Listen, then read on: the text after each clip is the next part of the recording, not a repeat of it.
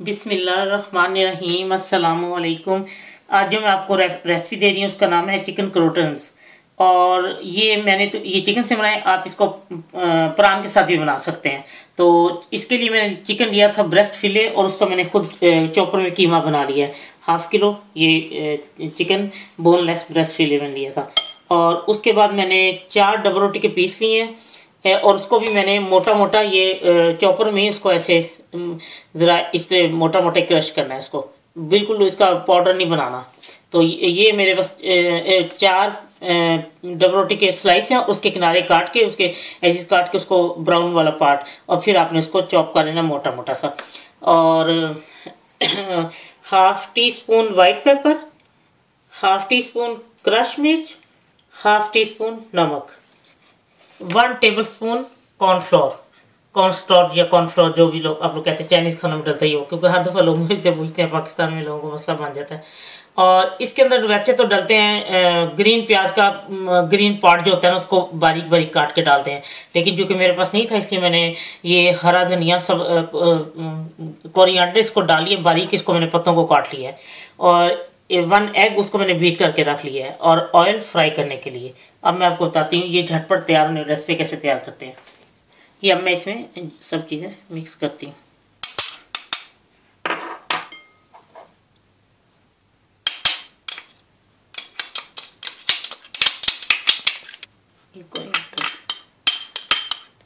اور ایگ یہ اس کو میں نے نا سارا ہاتھوں کے ساتھ مکس کیا کیونکہ چمچ سے نہیں ہو رہا تھا۔ اچھی طرح مکس کر دیا اور اب میں آپ کو بتاتی ہوں اب میں نے آگے اور کیا کرنا ہے۔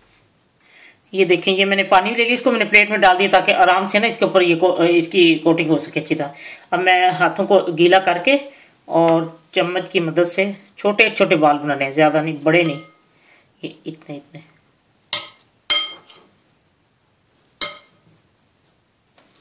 یہ اتنی اچھی چیز ہے، آپ اس کو بنا کے اسے فریز بھی کر سکتے ہیں، جب ضرورت ہو تو آپ یہ اب یہ میں نے گول سا ایک بنا لیا ہے اور اب اس کو اس کے بیچ میں اس کے ساتھ ایسے کوٹنگ کبھی کر کے۔ تو پھر میں اسی طرح آپ کو بنا کے دکھاتی ہوں۔ دیکھیں ایسے اس کے اوپر یہ لگ جائیں گے۔ جب آپ اس کو اچھی طرح اس طرح بیچ میں رول کریں گے، ایک دم میں نے اس میں بنا کے رکھ لی ہیں سارے، اور اب میں اس طرح ان کو رول کر رہی ہوں، اور میں بھی فرائی کر کے آپ کو دکھاتی ہوں۔ یہ اب تیل گرم ہو چکے ہیں، اور اب میں اس میں یہ جو میں نے اوپر بریڈ کے لگا کے رکھی اب میں اس کو فرائی کرنے لگی ڈیپ فرائی کرنا ہے ان کو۔ یہ دیکھیں یہ یہ دیکھیں یہ فرائی ہو چکے ہیں، یہ دیکھیں۔ یہ دیکھیں اوپر موٹا موٹا لگا ہوا ہے نا، وہ اس کے، وہ جو ہے بریڈ کا۔ تو اب میں اس کو ڈش آؤٹ کر کے آپ کو دکھاتی ہوں۔ لیجیے چکن کروڑ تیار ہے۔ اور یہ بہت ٹیسٹی ہیں، بچوں کے فیورٹ ہیں۔ آپ اس کو بنا کے فریز بھی کر سکتے ہیں۔